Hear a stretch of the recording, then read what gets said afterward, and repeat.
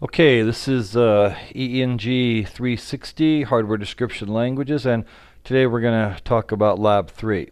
If you look at uh, the PDF for Lab 3, what we're going to basically do is implement the priority encoder, which would be this truth table right here using a conditional assignment statement. We'll first do a simulation with a test bench file, and then we'll map it to hardware, so we have to put a UCF file in there. All right, after that, then what we're going to do is a um, 3 to 8 active low decoder. Notice it's active low. The outputs get asserted low when the corresponding uh, control inputs uh, have the respective value.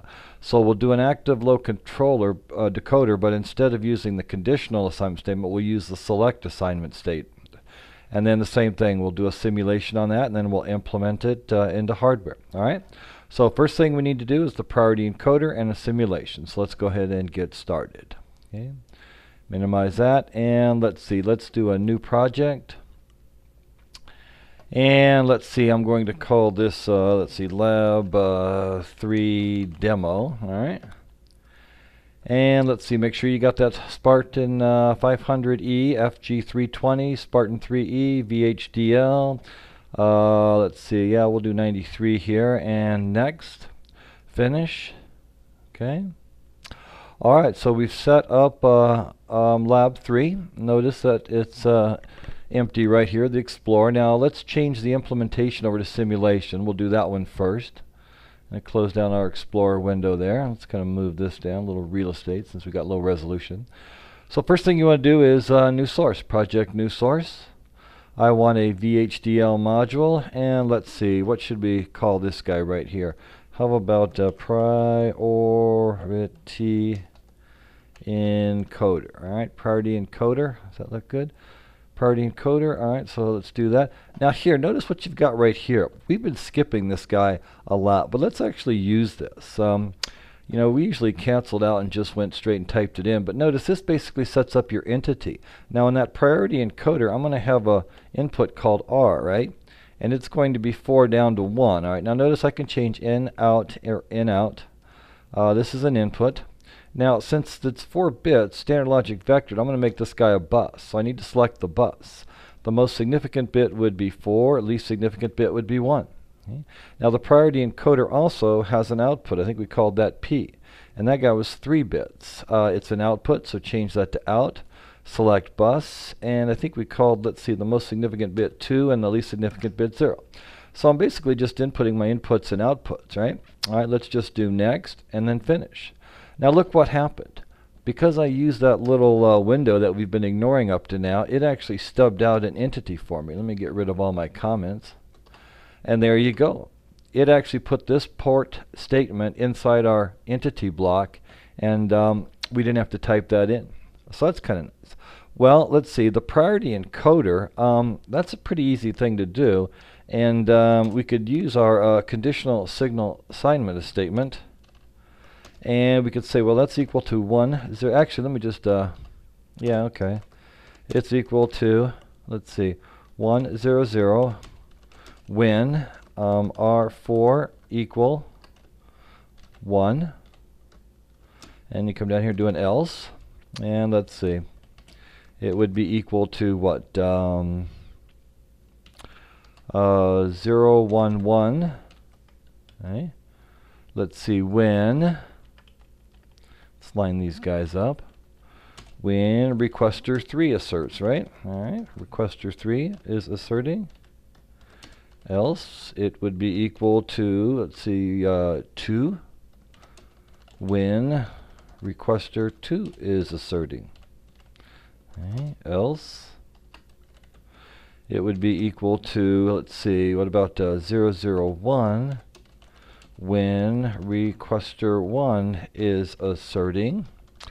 And let's see, is there an else here? How about um, uh, here we'll put 000 when nobody else is asserting. So the thing to note here is that um, we have these four lines coming in. When one of them is asserting, then we set the uh, P code at the output. This tells me requester 4, requester 3, requester 2, requester 1, and this tells me no requesters requesting. And that's it. You've implemented a priority encoder with uh, one conditional signal assignment statement and um, Yeah, and the uh, priority, uh, the entity block got filled out for you in that little dialog blocks. Great. So the next thing to do is um, set up a uh, test bench. But let's go ahead, save that, select it, come down to the processes block and make sure we typed everything in okay. Mm-hmm. All right, that's good. So now let's come along here and add a test bench file. Where's our test bench file? Let's see, we need to add a new source. Got to make it test bench, so we'll call this guy tb underscore prior it encoder. That'll be my test bench file. Make sure test bench is selected. Now it's going to say what component you want to test. Well, we only have one component in here, priority encoder. All right. So finish that guy up, and then look at your Explorer window right here. There's your component, priority encoder. That's your priority encoder.vhd, and it's being tested by TB priority encoder. Okay. So I've got my priority encoder file open. Let's just get rid of all the comment statements for now, since we're just trying to learn basic VHDL. Okay. There's your library block. On test bench files, the entity block is empty. Okay. Now you have to come down to here. You have to declare the component that you're going to test. There's your declaration. And then these are your test signal. I like to change these to test bench, prefix them with test bench inputs and outputs so I can distinguish which are my local variables and which ones come from the uh, actual component. We're not using clocks yet in the course. We will. Okay, so we get rid of that. Now here, notice up above you had to declare it, and the easiest thing to do is just copy over the entity block and replace entity with component. Now down here inside the begin block, you've got to instantiate. So there's a difference between declaring and instantiating. Okay, here we actually create an instance of this guy. We use the port map statement. We map the components variables to the variables in this current module, which are TBR and TBP. Okay, so let's change those guys to TBR and TBP. Okay. We don't need a clock process, so we can get rid of that guy. Okay. And there is our simulate process. Well, we just kind of brute force it right here, and what we can do is, um, you know, we come down here, let's get rid of some stuff here. All we need to do is keep that last wait statement in there, otherwise this guy's going to execute over and over. And we can come along here and say R takes on the value of uh, maybe 0, 0, 0, 0. Okay. And then what we'll do is we will wait for 20 nanoseconds. All right. Now we've got four bits there, so how many possibilities do we have? Well, we got a whole bunch, don't we? Let's see, we can, there's one, zero, one, two, three, four, five, six, seven, eight, 9, 10, 11, 12, 13, 14, 15. All right? And let's just change all these values respectively. Let's see, that would be 0. This guy down here would be 1, 2, 3, 4, 5, 6, 7, 8, 9, 10, 11, 12, 13, 14, and 15. And there you go we just uh, set the input and we wait for the output. So for example, this guy right here, requester 321, are um, asserting, so we should probably get um, um, 3 at the output on P code. All right, let's save it. Oh, we got some errors here. We better go check and see what our errors are. So let's see, I've got to wait for 20 nanoseconds. It looks like I didn't put a semicolon on all these guys. And then I copied that all the way down. Well, that's easy enough to fix. Okay, put a semicolon on there. All these guys, everything's got to have a semicolon.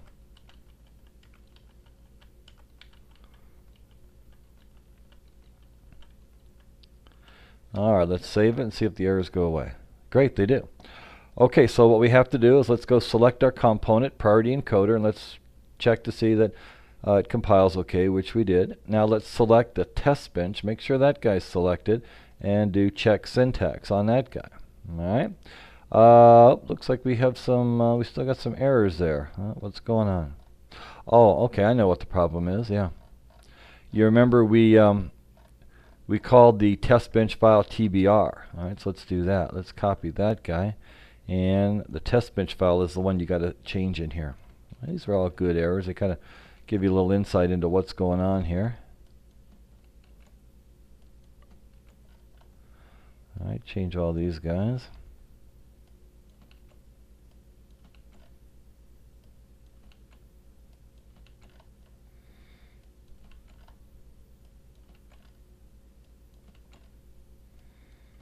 And then we got the last one. But because we changed those file those variables in the test bench, we also have to change them when you instantiate it. And okay, we did that. All right, so let's save that. Uh, let's go back and compile our component. Always make sure these guys are always up to date. Select the test bench, compile that guy. And now let's uh, make sure your test bench is selected and uh, simulate. Double click simulate behavioral model. That'll bring up a whole separate program or separate process. Another window on top of this one. And let's see what happens. Mm-hmm. Yeah, there it is. Let's kind of shrink it down a little bit there. Shrink it down here. Do go up to top, say zoom to view, and let's see. There you go. Let's see. Does that make any sense right here? Um, yeah, I'm actually going, let's see, if I do zoom to view, it should just give me, uh, actually I'm going one microsecond, but I'm changing every 20 seconds, huh? Yeah, let's see, get it all up there. Yeah, so really what I'm doing on my input is I'm counting 0, 1, 2, 3, 4, 5, 6, 7, 8, 9, and then you'll notice that all the, the most significant bits are set here, so the output is 4. Okay, normally on this guy here, you know, a lot of people, we put a wait statement at the end.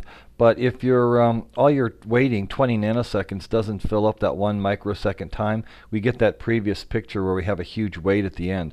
An alternative to using the wait statement is to put something like this in here to explicitly terminate the simulation. You can do either one, whichever one you want. I tend to like this one here because what it does is when I do zoom to view, it zooms out on exactly what I have and I don't have any leftover stuff.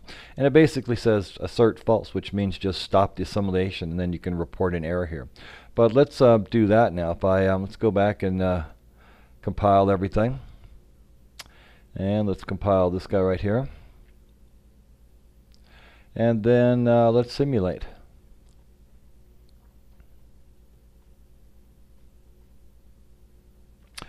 And now if I do zoom to view, it took my 300 nanoseconds and it zoomed it to the entire window, even though I had one microsecond up here. And that, that makes more sense.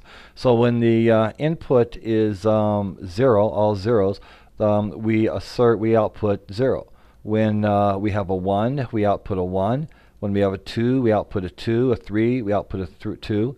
And then when four, five, six, and seven are input, then that means bit 3 is set and we output a 3 and then 4 8 or no 8 9 a b c all the way up to f bit 4 is set so we output a 4 okay? Now what you can do here is open up these bits and actually look at the individual traces. So at this point right here requester 1 is asserting so we output a 1 requester 2 is asserting we output a 2 requester 1 and 2 are asserting we output a 2 because 2 has priority over 1 requester 3 is asserting we output a 3 Requester 3 and 1, 3 has priority, we output a 1.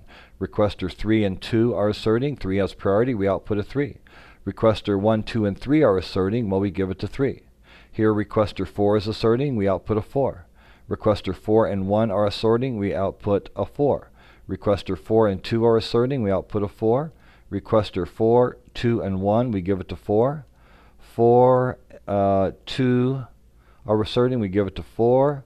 4, 2, and 1 are asserting. 4, 3, and 2 are asserting. We give it to 4. 4, 3, 2, 1. Everybody's asserting, but we give it to 4. All right? There you go. That ends the uh, priority encoder simulation.